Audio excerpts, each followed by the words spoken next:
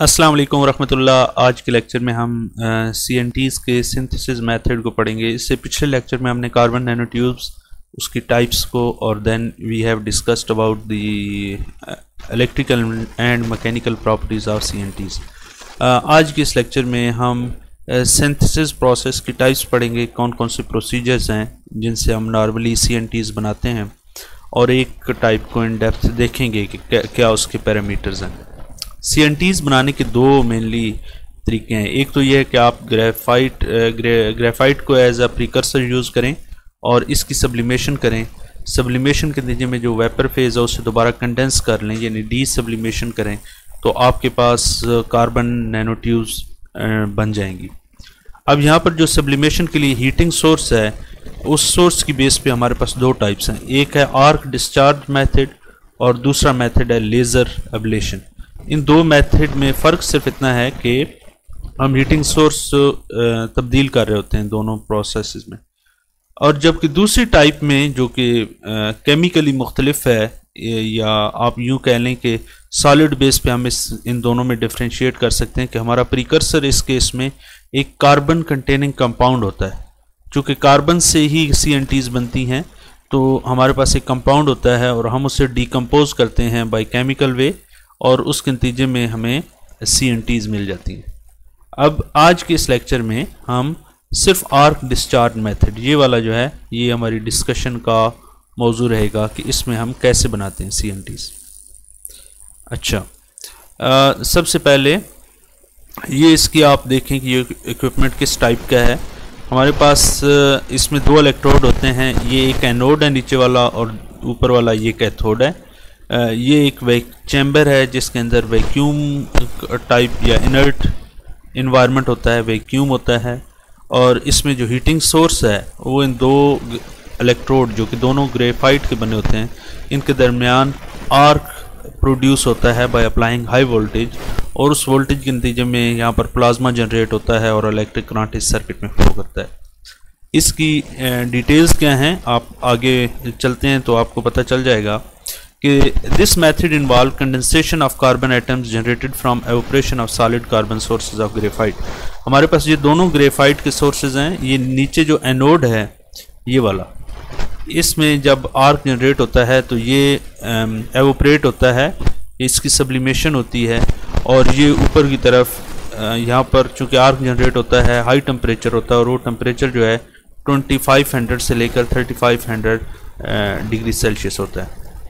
तो इस electric are की वजह से ये वाला जो नीचे वाला इलेक्ट्रोड है जो जिसे हम एनोड कह रहे हैं ये एवोपरेट होता है और उसे हम इधर कंडेंस कर लेते हैं ऊपर वाले इलेक्ट्रोड में और वो हमें कार्बन नैनोट्यूज मिल जाती हैं।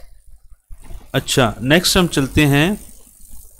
इट वाज uh, ये सिर्फ़ थेरेटिकल है इसमें और कोई बड़ी साइंस इन्वॉल्व नहीं है। दैट्स वाई हम इसकी सिर्फ़ इसे थारोली रीड करेंगे और देख लेंगे कि कोई ऐसी चीज़ हुई जो डिस्कशन करने के वाली हुई तो हम उसे भी कर लेंगे। It was a process that was originally use to produce ये सबसे पहले तो जो कार्बन सी सिक्सटी बक्की बाज टाइप स्ट्रक्चर्स हैं फुरीन स्ट्रक्चर जिन्हें हम कहते हैं, उनको बनाने के लिए यूज़ होता है था, लेकिन उसके बाद इसको सी एन टीज़ को बनाने के लिए भी बना यूज़ किया जाता है और this is a most common और ईजीएस्ट वे है। ईजी तो है, आप सिर्फ़ ये देख लें कि, हमारे पास दो इलेक्ट्रोड हैं। हाई पोटेंशियल हमने अप्लाई किया प्लाज्मा जनरेट हुआ, एक इलेक्ट्रोड है एवोपरेट हुआ, हमने उसे कंडेंस कर लिया और हमें सी मिल गई। तो ये पूरी साइंस है इसके बिहाइंड ये सबसे पहला मेथड है जिसके ज़रिए हम सी बनाते हैं और आप देख सकते हैं क्योंकि हमारे पास इलेक्ट्रोड की लेंथ यहाँ पर कम होगी विद टाइम तो इसमें कोई जो सी मिलेंगी कोई बहुत लार्ज अमाउंट उसकी नहीं होगी तो स्मॉल क्वांटिटीज़ में हम सी इस मेथड के थ्रू बनाते हैं। और इसका वही है कि after the triggering of arc between two electrodes the plasma is form consisting of mixture of carbon vapours the rare inert gas ये हीलियम या आर्गान होती हैं and the vapour of catalyst तो हम इसमें कैटलिस्ट भी यूज़ करते हैं कैटलिस्ट uh, क्यों यूज़ करते हैं? अगली स्लाइड्स में भी हम इसे डिस्कस करेंगे कैटलिस्ट के जो एलिमेंट्स होते हैं वो किधर होते हैं और उनका पर्पज़ क्या होता है. The vaporisation is the result of energy transfer from arc to the anode made of graphite dope with catalyst अब ये जो एनोड होता है जो ग्रेफाइट एनोड होता है इसके अंदर कैटलिस्ट मौजूद होते हैं, डूब होते हैं इस ग्रेफाइट के अंदर। और उन्हीं को हम एलिमेंट को एज अ कैटलिस्ट यूज़ करते हैं। बाहर से यानी कोई हम कैटलिस्ट एंटिटी एंटर नहीं कर रहे होते। अच्छा नेक्स्ट है C N T synthesis required three element एक तो हमारे पास कार्बन फ़ीड होनी चाहिए, एक प्रिकर्सर होना चाहिए जिसमें कार्बन हो, क्योंकि हमने सी एन टीज बनानी है। उसके बाद हमारे पास मेटल कैटलिस्ट होता है और एक हीट सोर्स होता है। हीट सोर्स जो हमारे पास यहाँ पर आर्क है, वो है कार्बन फ़ीड हमारे पास यहाँ ग्रेफाइट है। मेटल कैटलिस्ट क्यों होता है?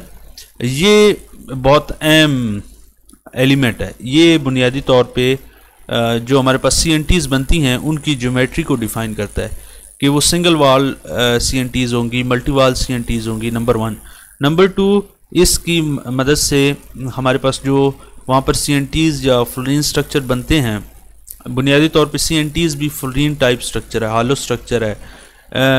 उसमें हमें ये देखना पता चलता है कि ये सी सिक्सटी बनेगा या सी सेवेंटी बनेगा या कार्बन नैनोट्यूब्स बनेगी। तो ये दोनों सी सिक्सटी सी सेवेंटी या इस टाइप के और स्ट्रक्चर ये स्फेरिकल हैं, जबकि कार्बन नैनो ट्यूब्स जो हैं सी एन टीज जो हैं, ये सिलेंड्रिकल हैं।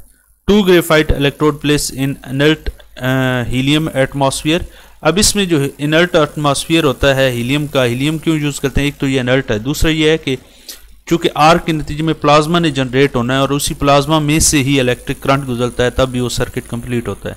तो ये वो प्लाज्मा जनरेशन में भी अहम रोल अदा करती है। When DC current is passed, anode is consumed, a material form on cathode. तो एनोड कंज्यूम होता है और वो डी सब्लिमेशन एट कैथोड होती है और वहाँ पर हमें कार्बन नैनोट्यूब्स मिल जाती हैं।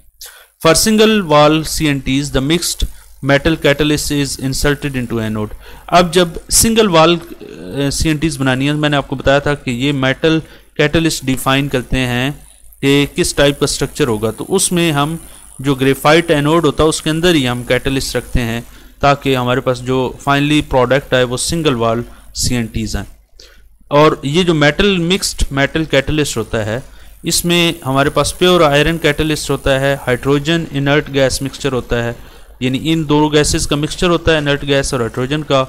और प्योर आयरन कैटलिस्ट होता है जो कि हम उस ट्यूब के अंदर रखते हैं ग्रेफाइट के एनोड के अंदर। The nanotubes discovered using this technique it has been the most widely suited method for C N Ts ये बातें हो चुकी हैं इससे पहले भी। नेक्स्ट uh, है हमारे पास कि आर्क डिस्चार्ज मेथड में arc evaporate technique arc evaporation technique involve evaporation of graphite anode rod and condensation of deposit on the cathode rod under inert gas atmosphere वही बात है a plasma is achieved by making a gas to conduct electricity by providing a potential difference across two electrode तो plasma कैसे होता है उन दो electrode के दरमियान हाई पोटेंशियल डिफरेंस होता है और उसके नतीजे में हमारे पास ये गैस आयोनाइज होती है जहाँ पर प्लाज्मा जनरेट होता है ये inert gas electrodes are made of conducting materials of course graphite के हैं In this met method, two highly puri purity graphite uh, electrode or cathode and anode are held at short distance apart under. तो ये वही बातें हैं कि दोनों highly pure होते हैं दोनों इलेक्ट्रोड ग्रेफाइट के होते हैं और ये स्मॉल डिस्टेंस पे रख के हाई पोटेंशियल डिफरेंस अप्लाई करते हैं और इसके नतीजे में हमारे पास एक सर्किट कंप्लीट होता है। इसके बाद हमारे पास ये मुख्तलिफ़ पैरामीटर्स हैं। इनर्ट गैस या इनर्ट एटमॉस्फेयर जो होता है, inert gas is for cooling and condensation of the sample. इसके दो पर्पज़ होते हैं। एक तो हमने कूल भी करना है, कैथोड के ऊपर जाके डीसब्लिमेशन होनी होती है। तो वो जो गैस की, वो जो हीट की एक्सट्रैक्शन है, वो ये इनर्ट गैस करती है। सेकेंडली, इनर्ट एटमॉस्फेयर प्रोवाइड करती है और तीसरा प्लाज्मा जनरेशन में हेल्पफुल होती है। इंपॉर्टेंट पैरामीटर ऑफ़ गैस में प्रेशर बहुत अहम है। अगर आप हाई प्रेशर यूज़ करेंगे तो आपके पास कार्बन ओनियन या सूट बनेगा।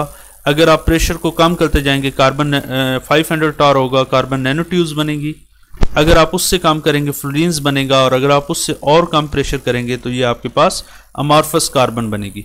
देर फार ये प्रेशर को आप वेरी करके आप इस स्ट्रक्चर की आप चेंज कर सकते हैं। एक टाइप के कार्बन स्ट्रक्चर से दूसरे एलेक्ट्रोपिक फॉर्म में जा सकते हैं।